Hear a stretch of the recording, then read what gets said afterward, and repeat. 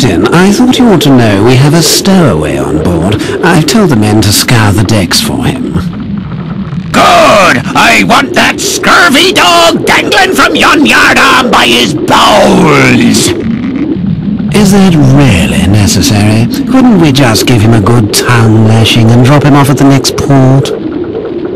Look! There's not a man jack on this ship who wouldn't keel haul his own grandmother for the silver in her hair! There'll be no tongue lashing! Bring the landlubber to me and I'll tear him a new orifice!